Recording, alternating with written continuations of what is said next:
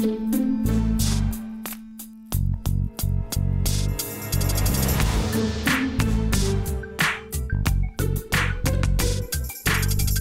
was pretty tough growing up in Redfern because of the, um, a lot of criminal activity. We didn't have much when we were growing up. We didn't even watch TV.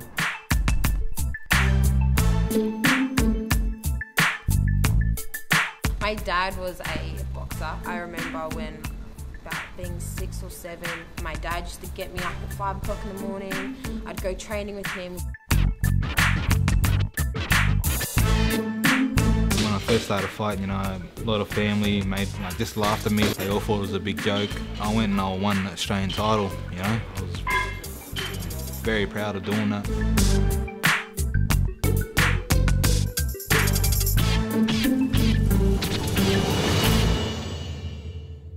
I got into uh, Kung Fu when I was 12 because I loved uh, the whole Bruce Lee sort of thing. I didn't have much discipline. I, uh, I looked up to my, my Sifu who taught, you know, discipline, routine. He was um, a big role model in my life, almost like a father figure as well. My auntie was a strong role model for me growing up. You know, she was a very straight to the point person. You know, just someone that didn't wasn't afraid to give their opinion. And that's probably one of the things you know I took away from her. You know, and always speak your mind. Yeah, losing her, you know, I know it's like losing another mother for me. I'll hear her voice in my head telling me she's proud. I'm the person I am now definitely because of my dad and his um, work ethic when I was a child. You train hard and you'll reap the rewards. You know, by failing to prepare, you prepare to fail. I'm the second, if not the first, uh, Indigenous World Kickboxing Champion. I reached uh, Masters level by age of 19. Uh, I was the youngest to achieve Masters level from my school. Fought numerous times in the cage and um, onto kickboxing. When I won that world title, my dad couldn't stop calling me the world champion. He would actually wouldn't call me by name, he'd just call me the champ. A very big girl, so I weighed over 100 kilos, so it was a bit uh, difficult. Um, I got teased a lot in school, saying, you know, you're fat, you're big, you can't run, you can't do this, you can't do that, real fat islander. Now I think bigger is stronger. If I didn't end up in a boxing gym, I think I just would have been alcoholic. I think I would have ended up, you know, in trouble with the law. I think, yeah, I'd probably be somewhere drunk now. Boxing was a huge like eye opener for me, like being able to train and um, punch a bag and take all my anger out on my dad. And my dad used to let me spar with him. And like, if I had a bad day at school or something, I'd you know take it out on him. Usually people, if they were going to be up in your face, you know, you'd feel intimidated, so you have to be up in their face. But it made you a lot more calmer and collected. You know, people have different ways of escaping things. They got drugs, alcohol, um, music, dancing. You know, this is mine. You know, I fight, and yeah, it's just my, my release, I guess, my way of venting. In boxing, uh, confidence is everything. If you don't believe in yourself 100%, you know you're already lost. You've already lost before you get in the ring.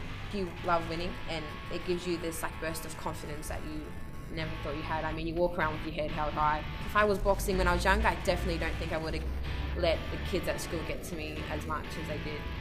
When you win, you know, that's a great feeling there. And, and that training gets you there. So you know you've done your step by step, you know you've done the routine to get you to where you got to go. And yeah, that's a, a great sense of uh, achievement. You see your favourite boxers, you know, fighting for world titles, and you know you hope to do it one day yourself. Other Indigenous champions, Robbie Peden, Anthony Mundine, you know, Lionel Rose. You know, if you could go and do what they done, they'll be the best. Be the best. a little rut that I was in where I was getting picked on and bullied. And I think that's a big part of um, where I am now today, um, is helping other people achieve their goals. I'm helping people, I'm, I'm starting my own gym. Uh, people look up to me as, as a, a role model, you know, especially the young generation, uh, the Aboriginal community. At the moment, I run a lot of programs for um, kids at school. Just start, uh, started Fight Girl Fitness, and I have a group of 15 kids, all different nationalities and all different sizes, that come twice a week for seven dollars a session, and we just smash it out.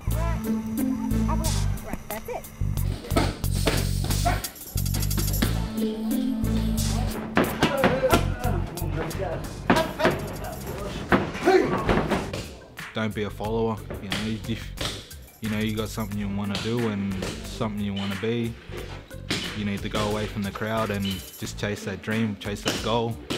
You know, even if that means separating yourself from from family, friends. You know, it's worth it in the end. You want to follow the crowd and go do what they do, or you want to, you know, be a world champion boxer and do what a world champion boxer does. Live life to the fullest. Whatever you do, uh, do it with all your heart. Do it to, to the best of your ability. The Olympics are my main goal. You go to the Olympics to get a gold medal. So that's what my dad always told me, and that's what I want to. That's what I want to do. We've got another world title coming up in June. Hopefully, we'll be a two-time world champion. You know, I want to be a fighter. I want to fight the best fighters in the world one day. I hope. But um, you know, I'm gonna start start here in Australia. You know, I'm gonna fight, try and fight the best here, and then hopefully get on the world stage and fight for a world title one day.